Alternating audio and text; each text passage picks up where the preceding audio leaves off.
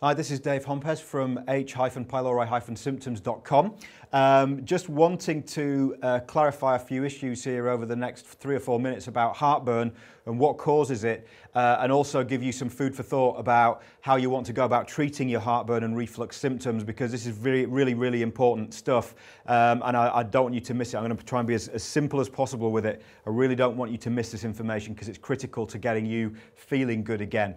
Now, there seems to be uh, this uh, incorrect message coming out that most people's heartburn or reflux or burning in here is due to uh, the stomach producing too much acid. In actual fact, that probably only causes heartburn in a few people. Now, it sounds a bit weird. You think, well, surely if there's burning there, there must be too much acid, but it's not necessarily that way. The reason many people get heartburn is because there is some kind of irritation to the lining of the digestive system and doesn't matter how much acid is there, if you have acid contacting with damaged tissue, it's going to hurt. Just to give you an example, here is a knife. It's not a very sharp knife, fortunately, because I don't want to do myself any damage.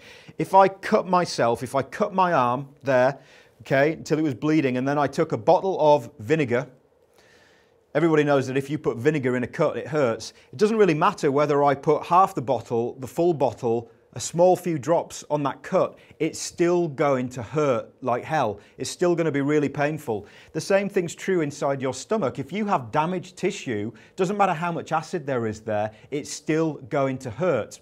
So, what causes damage to the gut lining and the digestive tissue? Well, certain foods that we eat cause problems, okay? Certain uh, bacteria that we get in our digestive system, particularly H. pylori, Helicobacter pylori, can damage the gut and start to cause um, heartburn and reflux problems.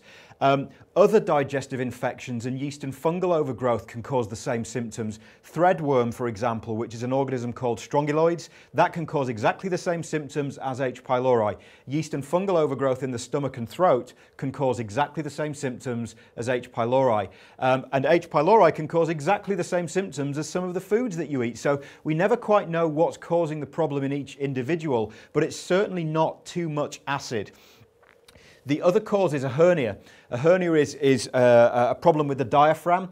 Um, I won't go into it in too much detail. That's something that we can only really check for with um, an endoscopic procedure. I don't really work with people with, uh, uh, with hernias because I can't, I can't really do anything with them, but we can certainly help with all these different things. Now, the key to this in terms of treatment is that if you go to the doctor with heartburn, the number one prescription you get is antacid medications. Antacids, it means they're stopping the stomach producing acid. But we've just said that actually too much acid is probably not the problem. It's what acid is already there, just causing uh, a burning or a stinging sensation in the damaged tissue. So the repercussions of this are massive. Number one, the uh, antacid medications ha can have significant side effects on people. Um, number two, they stop you digesting your food. This is absolutely critical because if you stop your stomach producing acid with these medications, they cannot, your stomach cannot break down the food that you eat. Therefore, it sits there in an undigested state, it goes putrid, it starts to give off gases, and that causes heartburn. So what we're saying here is in a lot of cases, the medications that you're being given are actually causing the problem. And another complication is that if you are on these medications long term, omeprazole, Nexium, Prilosec, uh, all the different names that you will have for them, pantoprazole, um, Prevacid, etc., um, and you suddenly come off them, you can get a huge acid rebound as a result, which can cause problems that are 10 times worse than the one that you, pre, that you actually went on the medications for in the first place. So I just wanted to make that clear.